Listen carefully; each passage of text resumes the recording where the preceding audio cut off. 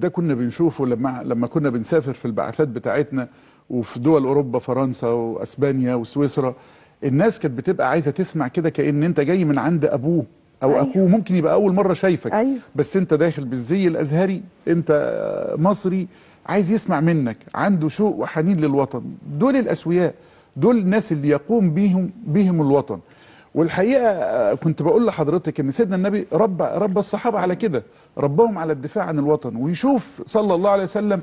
ثمرة التربية دي في يوم بدر ويوم بدر ال- ال- النبي صلى الله عليه وسلم بينه وبين أهل المدينة بين المسلمين في المدينة الأنصار معاهدة إن هم يدافعوا عنه وهو داخل المدينة.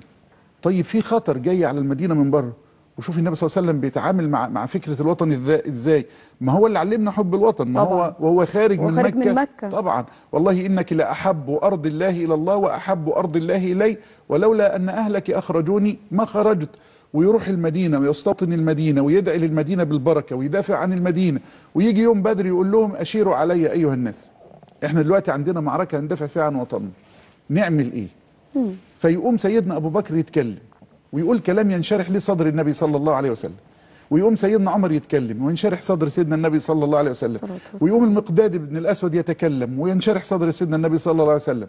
لكن كل ده مش كفاية. هو بيقول لهم أشيروا علي أيها الناس. لأن الثلاثه اللي اتكلموا من مكة جايين من المهاجرين. وعايز يسمع أهل المدينة. أنتوا هتطلعوا رأيهم هيبقى أيوه. إيه؟ هنطلع مع بعض ندافع عن الخطر ده ولا لا؟ فاطن ليها سعد بن معاذ.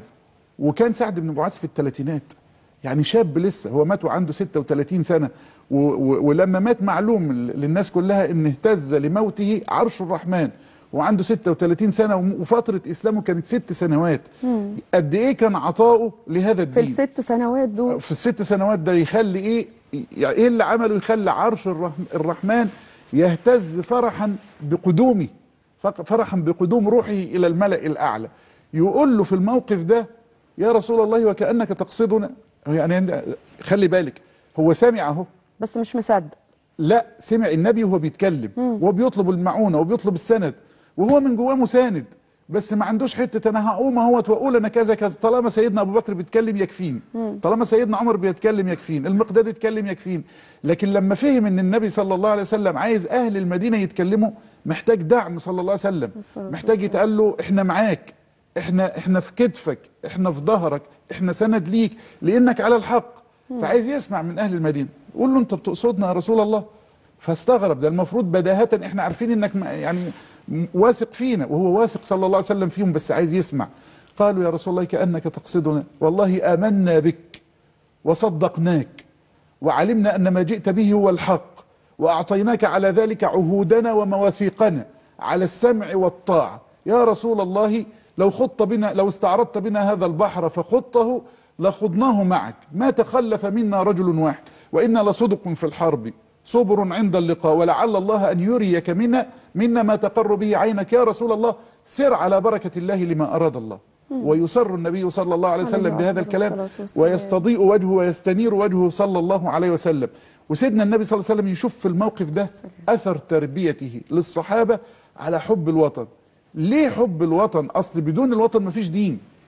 إحنا خلينا واقعيين. مش هنستحضر أمثلة من الماضي. الحاضر الواقع اللي إحنا عايشين فيه. الواقع الأليم اللي كل بي اللي كل بيتكلم عنه بألم.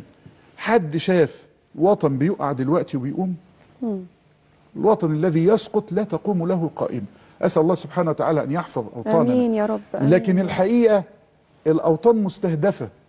واللي عايز يعرف يعني إيه وطن؟ يسأل من فقد وطنه عن قيمة الوطن. صحيح. يسأل إزاي هو بيأدي عبادته. يسأل إزاي هو بيأدي دينه. يسأل إزاي هو آمن على نفسه أو آمن على عرضه أو آمن على أولاده أو آمن على آه، ماله. علشان كده الذكرى دي تستحق إن إحنا نستنشق فيها طبعا. روح النصر. نملأ بروح النصر دي صدورنا. وتكون طاقة نحولها لطاقة عمل وطاقة بناء وطاقة عطاء وطاقة أمل. المتفائل بيرى في المحنة منحة صحيح. يرى في الشدة إن في نجاة بعدها. يرى أن مع مع الدروس. طبعا يرى أن مع مع الصبر فرجا. يرى أن النصر مع الصبر كما قال سيدنا رسول الله صلى الله عليه وسلم.